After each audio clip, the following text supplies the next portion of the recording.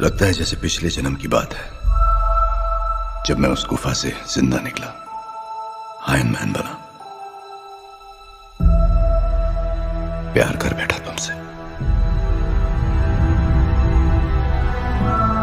मैंने कहा था कि अब कोई हीरोगिरी नहीं करूँगा, लेकिन पता नहीं था कि इतना बुरा फंसूँगा। हर स्टोरी का दी एंड होता है।